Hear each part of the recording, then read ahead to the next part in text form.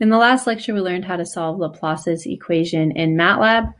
I thought it'd be nice to also include a uh, lecture on how to solve both Poisson's and Laplace's equation in Mathematica. And again, the numerical technique is going to be similar to what we did in MATLAB, but we actually don't have to write the code to do it. In this case, it's built in. It's a built-in numerical solver. MATLAB also probably has a built-in numerical solver, but I think you need to buy a special toolbox to have it. Okay. Um, but again, I like MATLAB because I'm a little bit better at the syntax with MATLAB. Mathematica can be pretty complicated, but it's just as capable uh, in a lot of ways.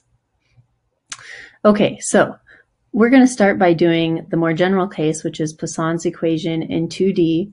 And in this case, we're just saying that the uh, Laplacian of some in this case, vector field u, I could call it v, but in this case, u is what the example I already had, is equal to 1, and we're going to solve it in two dimensions. Okay, in this program, you're going to see some things that refer, refer to the Dirichlet, which is a, a name of another math, mathematician, condition, and that's just a fancy way of saying that we are telling the program what the values are at the boundary. Okay, there's different types of ways to specify boundary conditions, and they all get named after the mathematician that maybe came up with them. They're all kind of hard to pronounce. So the Dirichlet condition is just saying, hey, these are the values of the boundaries of the 2D space we are solving over.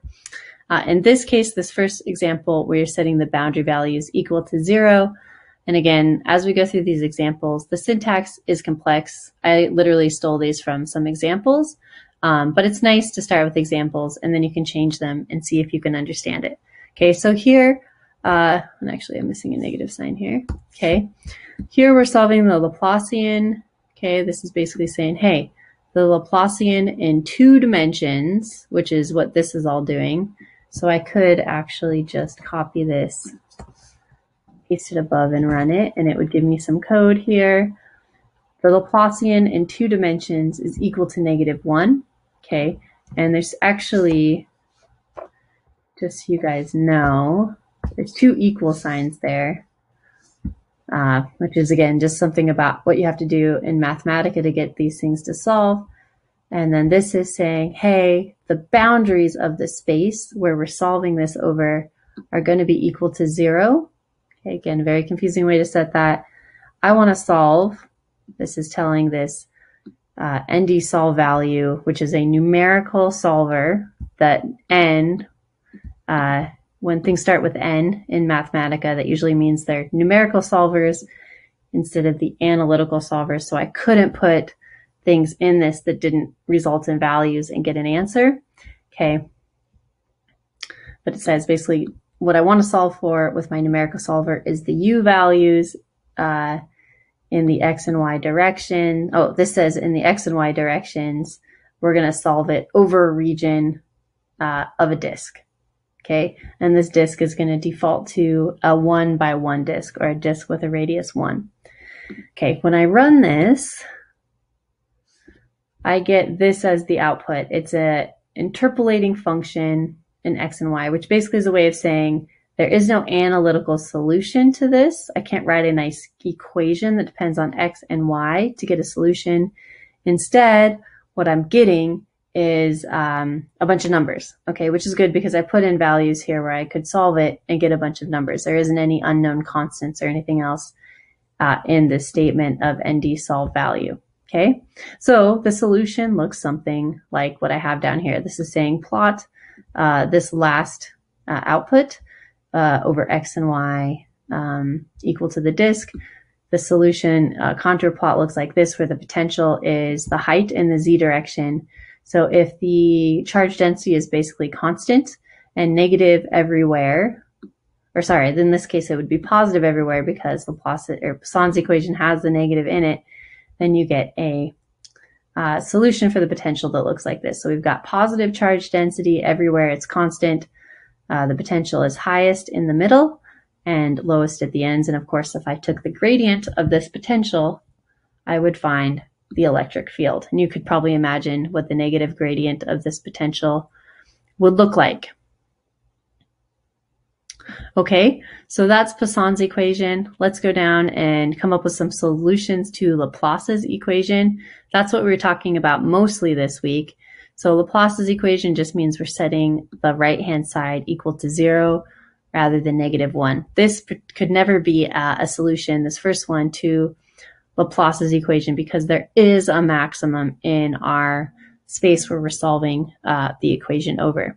So here, uh, a little bit fancier, we've got Laplace's equation, but now we've got a boundary condition where we're letting the boundary not be at a constant value of zero, but we're letting it be equal to the sine of x and y, okay? Um, so the values uh, around our boundary are following a sine function. Okay, so I can go ahead and run that again. We're getting this interpolating function, which means it's just a bunch of numbers, not a nice uh, equation for the solution. And I can plot that. And again, it's this idea that the solution is always going to be the most featureless surface that you can stretch between the boundaries. And here you can see it almost looks like a Pringle or something like that. Uh, the boundaries have waviness to their potential values, and the surface in the middle uh, is trying to fit those with a kind of continuous function, but a featureless function. All right, that's kind of fun. Uh, let's look at this one. Here we've got somewhat fancier boundary conditions. We've set uh, different boundary conditions depending on the value of x. So it's 0 for x being less than negative 0.3 and 1 for x being greater than 0.35. Okay, so again, if I run this solver, um, I'm going to get some interpolating function as the output. But here I can see what the solution looks like for that particular situation. The boundaries where I've set it are on this side here on the left-hand side where the potential is set to zero for this. It's again, it's still a disk, so it's still going to be round that I'm solving this potential over. On the right hand side, uh, the potential is set to uh, one. Okay, so that's why we get this slope here. But you can see, again, it's as featureless as it can be trying to solve those conditions or satisfy, sorry, those conditions. Uh, in order to kind of complete it, I thought we'd do a boring take. So this is the solution to Laplace's equation in one dimension. So these are two dimensional. We could do it in three dimensions, but let's just go back and do it in one dimension. So now this is saying use that same numerical solve, solver. Let's solve the Laplacian in one dimension. So I got rid of the x here.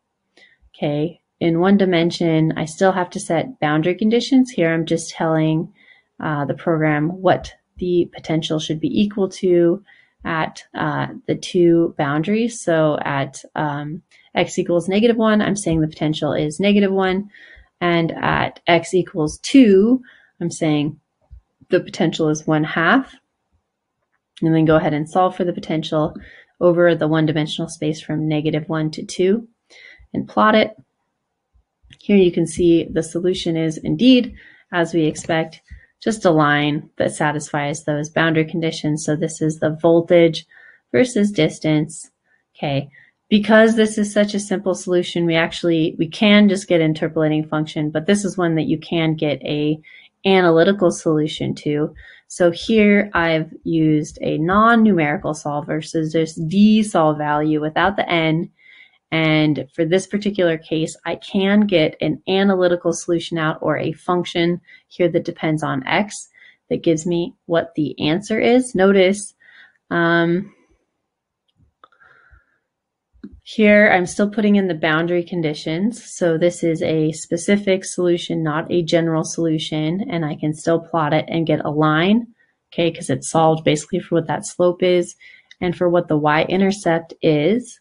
Okay, but because I can find a general solution, I can even be more simple and just ask um, Mathematica to solve this without the boundary values. To do that, instead of using dsolve value, I'm just going to use dsolve. And I put, again, similar stuff in Laplacian. That's what I'm trying to solve. I want to solve for the potential over this range, but I'm not including any information about boundary conditions. And it still gives the solution, but it's a general solution. So it's just saying, hey, it's a line with these constants C1 and C2. Okay, but I don't know what those constants are because you didn't give me uh, enough information or the boundary conditions to solve for them.